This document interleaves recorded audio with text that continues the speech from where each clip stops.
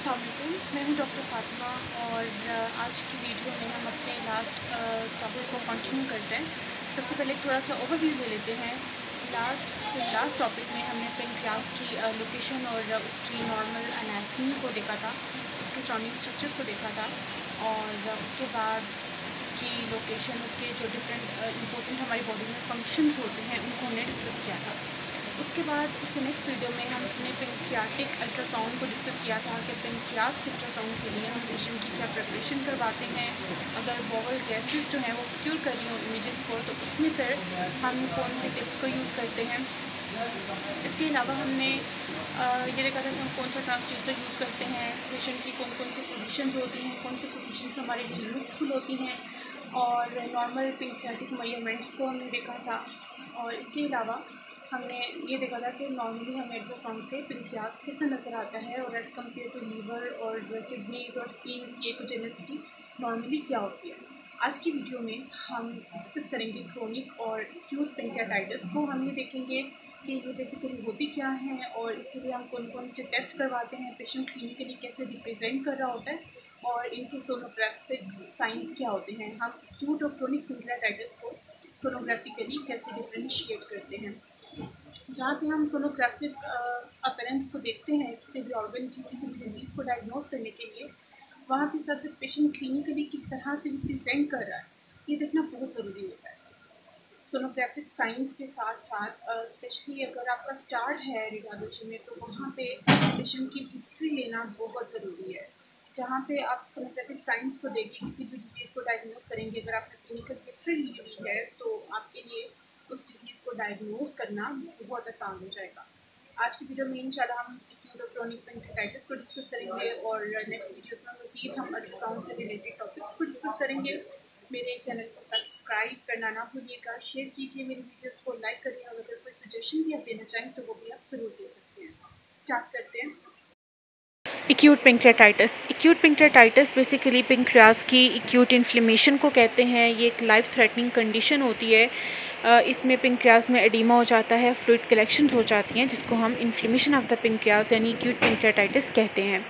इसका जो डायग्नोसिस है एक्यूट पेंक्रेटाइटिस का, वो हम इन तीन चीज़ों की बेसिस पे करते हैं। सबसे पहले तो इसकी क्लिनिकल प्रेजेंटेशन की बेसिस पे, यानी पेशेंट जो है वो स्वेयर एपिगेस्ट्रिक पेन के साथ रिप्रेजेंट कर रहा होगा। सेकंड जब हम उसके टेस्ट करवाएँगे तो उसमें लाइपेज और अमाइलेज का जो लेवल है, वो नॉर्मल लिमिट से तीन गुना ज़्यादा होगा। जब हम उसका अल्ट्रासाउंड करेंगे, क्योंकि प्राइमरी मोडालिटी है तो सबसे पहले अल्ट्रासाउंड होता है, उसके बाद फिर सी टी की तरफ़ पेशेंट्स को जो है वो फॉलोअप के लिए भेजा जाता है। तो इसमें जो हमें फ़ीचर्स मिलते हैं सोनोग्राफिक फाइंडिंग्स जो हमें मिलती हैं उनकी बेसिस पे हम जो है ये डायग्नोज करते हैं कि आया कि ये एक्यूट पेंक्रेटाइटिस है या नहीं है या क्रोनिक पेंक्रेटाइटिस है इनमें क्या डिफरेंस होता है इसको भी हम आगे देखेंगे। काजेज़ की बात करें एक्यूट पेंक्रेटाइटिस के तो सबसे पहले जो इसका मोस्ट कॉमन कॉज है वो गाल स्टोन्स हैं। गाल स्टोन्स की वजह से एक्यूट पेंक्रेटाइटिस होती है इनकी वजह से ऑब्स्ट्रक्शन भी हो, हो सकती है सी की और सेकंड uh, जो इसका मोस्ट कॉमन काज है उसमें ऑटोम्यून पिंक्रेटाइटिस आ जाता है।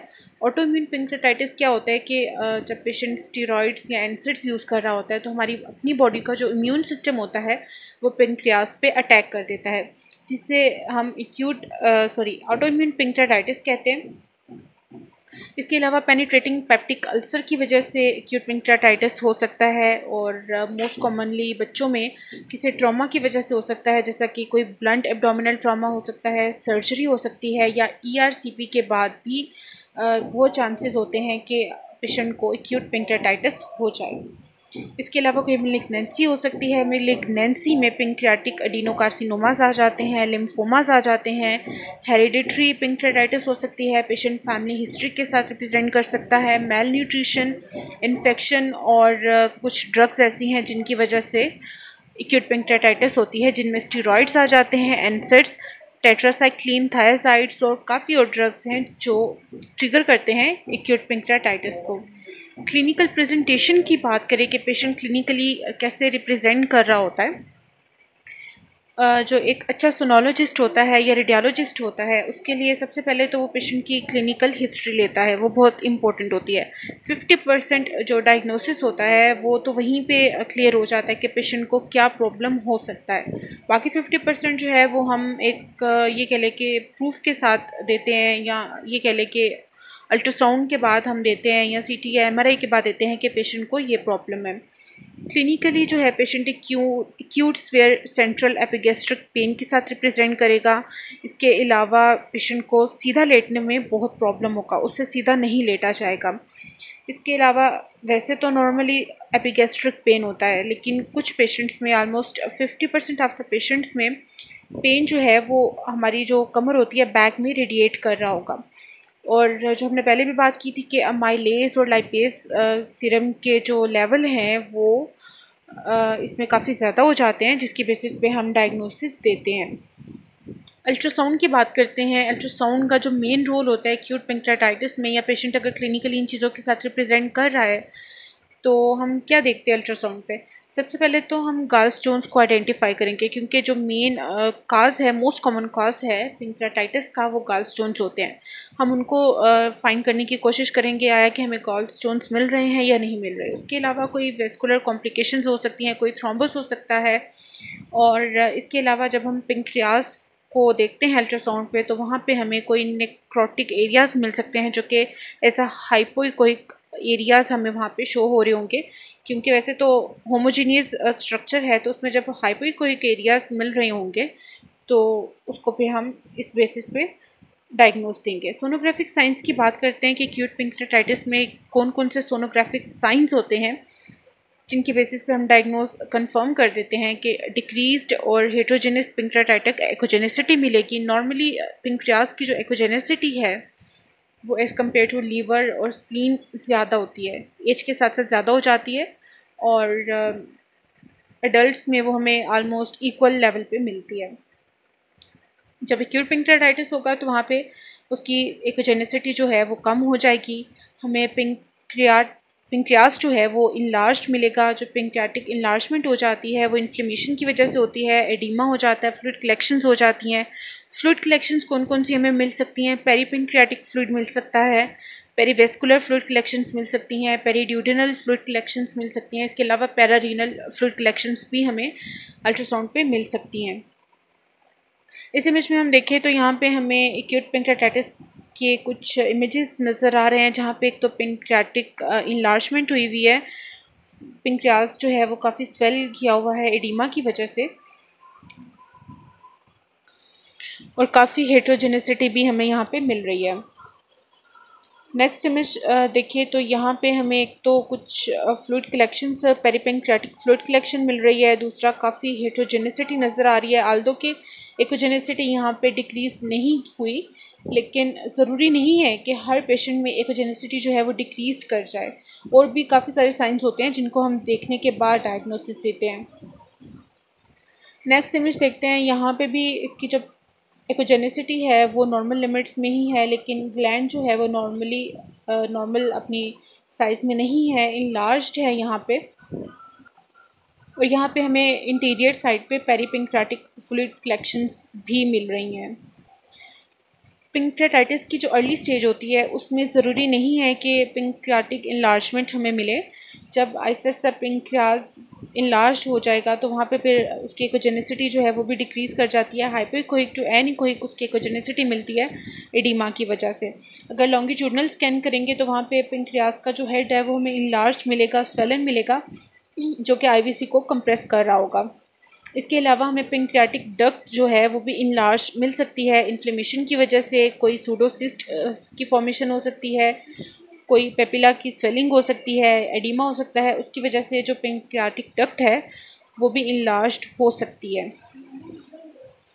इस इमेज में देखें तो यहाँ पे पेरीपिंक्रियाटिक फ्लूड हमें नज़र आ रहा है और पिंक्रियाटिक इनलार्जमेंट भी हमें यहाँ पे मिल रही है। क्रोनिक पेंक्रेटाइटिस की बात करते हैं।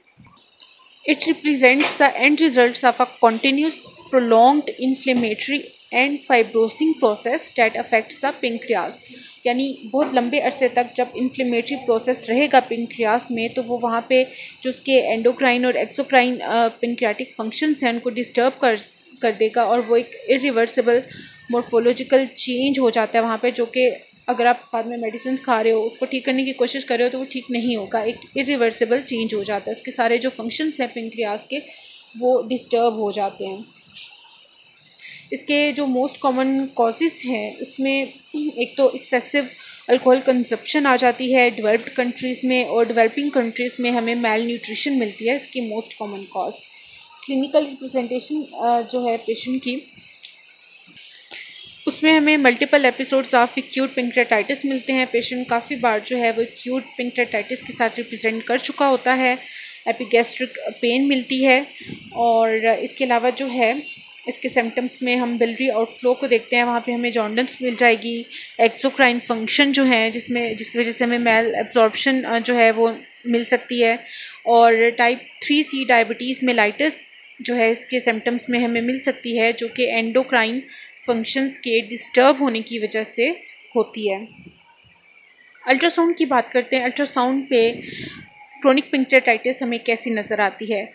सबसे पहले तो आपको एट्रॉफिक पिंक्रियास मिल सकता है। क्यूट पिंक्रेटाइटिस में देखा था कि पिंक्रियास जो है, उस साइज़ में बड़ा हो जाता है इनलार्जमेंट मिलती है। लेकिन क्रोनिक पिंक्रेटाइटिस में हमें एट्रॉफिक मिलेगा। इसके अलावा क्यूट पिंक्रेटाइटिस में हमने देखा था कि जो उसकी एक्जेनेसिटी है, वो डिक्रीज़ कर जाती है एडीमा की वजह से। लेकिन यहाँ पे आपको कैल्सिफिक एरियाज़ मिलेंगे फाइब्रोटिक एरियाज़ मिलेंगे। आपको बहुत सारे टाइनी जो हैं कैल्सिफिकेशंस नज़र आएँगी वाइट एरियाज़ आपको मिलेंगे। ये शेडविंग भी हो सकते हैं और नॉन शेडविंग भी हो सकते हैं। फाइंडिंग्स की बात करते हैं कि अल्ट्रासाउंड पे हमें क्रोनिक पेंक्रेटाइटिस में क्या क्या फाइंडिंग्स मिलती हैं? सबसे पहले तो हाइपर इकोजेनेसिटी मिलेगी, जो डिफ्यूज़ भी हो सकती है और फोकल भी हो सकती है, जो कि इंडिकेट करती है फाइब्रोटिक चेंजेस को। जब पिंक्रेटाइटिस होता है तो सबसे पहले जो उसकी नॉर्मल इकोजेनेसिटी होती है पिंक्रियास की, वो डिक्रीज़ कर जाती है डीमा की वजह से। उसे हम एक्यूट पिंक्रेटाइटिस कहते हैं और उसके बाद जो है पिंक्रियास जब क्रोनिक पिंक्रेटाइटिस की तरफ़ जाता है तो उसमें हाइपर इकोजेनेसिटी हमें मिलती है। इसके अलावा कोई सूडोसिस्ट फॉर्मेशन हो सकती है सूडो एनोरिज़म्स हमें मिल सकते हैं साइटिस जो है वो भी डायग्नोज हो सकती है बाइल डक्ट ऑब्स्ट्रक्शन मिल सकती है पिंक्रियाटिक एप्सेस नेक्रोसिस और डायलेशन ऑफ़ पिंक्रियाटिक डक्ट जो है वो हमें मिल सकती है। काफ़ी सारे इन दोनों के साइंस जो हैं वो थोड़े बहुत मिलते जुलते अगर आप इनको रिलेट करें एक दूसरे से। एक्यूट और क्रोनिक का डिफरेंस जो है वो आपके सामने वाजिया हो जाएगा। जो मेन इसकी फाइंडिंग्स हमें मिलती हैं वो यही होता है कि एक्यूट पेंक्राटाइटिस में आपको हेट्रोजेनिसिटी विद डिक्रीज इकोजेनिसिटी मिलेगी और क्रोनिक में आपको कैल्सिफ कैल्सिफिक एरियाज़ मिलेंगे कैल्सिफिकेशंस मिलेंगी। ऐसे मिश में देखें तो यहाँ पे आपको जो है इंट्राडक्टल और पेरेंट कैल्सिफिकेशंस मिल रही हैं। और पिंक्रियास जो है वो एट्रॉफिक है। इसके अलावा जो पिंक्रियाटिक एक्सोक्राइन और एंडोक्राइन फ़ंक्शंस होते हैं हमारी बॉडी के लिए बहुत ज़रूरी हैं, वो जो है डिस्टर्ब हो जाते हैं। ये भी एक क्रोनिक पेंक्रेटाइटिस का केस है, जिसमें आपको अनइवन आउटलाइन मिल रही है ग्लैंड की और हेट्रोजेनिसिटी आ रही है पेंक्रियाटिक टिशू की। जैसा कि हमने पहले भी डिस्कस किया कि अर्ली डिज़ीज़ में पेंक्रियाज जो है वो इनलार्ज होगा हाइपोइकोहिक होगा डक्टल इन इनलार्जमेंट भी हो सकती है और नहीं भी हो सकती। लेटर ऑन पेंक्रियाज हेट्रोजेनस होता जाएगा और जो है हाइपोइकोहिक से वो हाइपर इकोजेनिक हो जाएगा। उसकी इकोजेनिसिटी इंक्रीज़ कर जाएगी और उसमें फिर हमें फोकल और डिफ्यूज़ इनलार्जमेंट मिल सकती है। फोकल और डिफ्यूज़ हमें कैल्सिफिक एरियाज़ भी मिल सकते हैं।